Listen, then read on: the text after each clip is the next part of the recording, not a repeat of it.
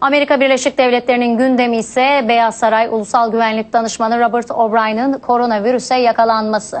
Washington'a gidelim. Hemen Turkish Heritage Organization Başkanı Ali Çınar karşımızda. Ali Çınar hoş geldin yayınımıza öncelikle.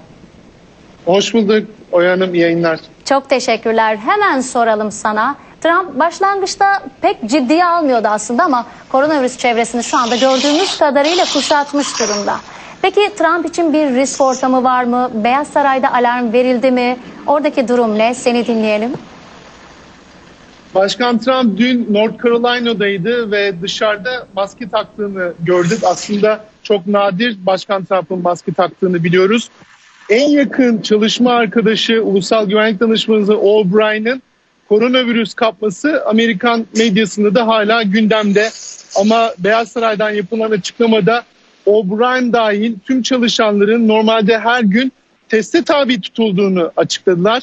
O'Brien geçen haftadan beri tatildeydi aslında ve aile tatilinde kızından koronavirüs kaptığı ile ilgili bir açıklamayı da e, Başkan Trump'ın ekonomik danışmanlarından Kudlow yaptı. Yani bir aile e, ile görüşmesinde bu Covid'i kaptığı söylendi. Tabii Beyaz Saray'da tedbirler e, an ve an arttırılmaya devam ediliyor. Zira Başkan Trump'a en yakın isimlerin günlük teste tabi tutulması mecburi. Ama hala genel olarak Başkan Trump'ın bu işi çok ciddiye almadığını görüyoruz. Zira dün yaptığı açıklamalarda da normalleşme sürecinin hala yavaş ilerlediğini söyledi. Ama halka da maske takın uyarısında bulundu. Her ne kadar takmasa da e, ama Beyaz Saray'a giriş çıkışlarda daha çok tedbir ve testlerin daha sıkı yapılması konusunda da dünden beri daha fazla bir çalışmanın olduğunu görüyoruz.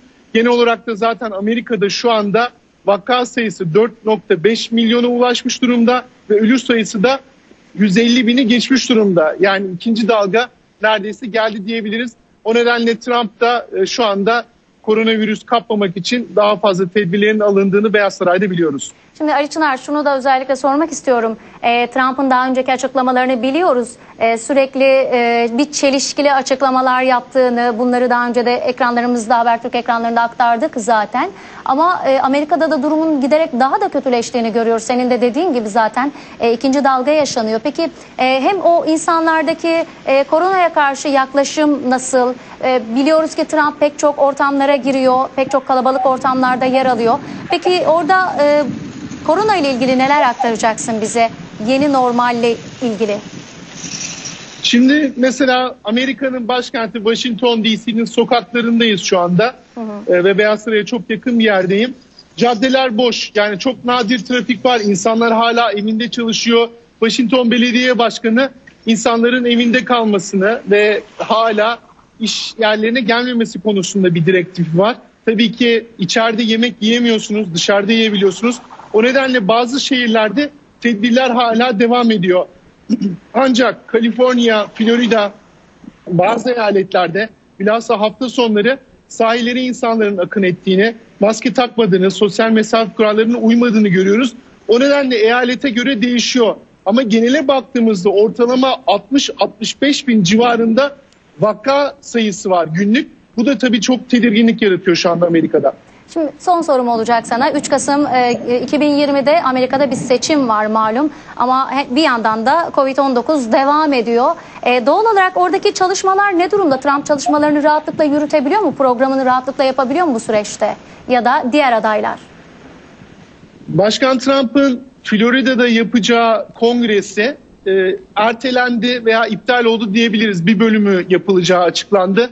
Açıkçası hem Biden hem de Trump kampanyalarının bu konuda e, çalışmalarının sekteye uğradığını söyleyebiliriz. Birçok mitingi kampanyasını da yapamıyor. Tabii bir Covid vakası arttığı sürece acaba posta yoluyla oy kullanan fazla mı olur tartışmaları da başladı.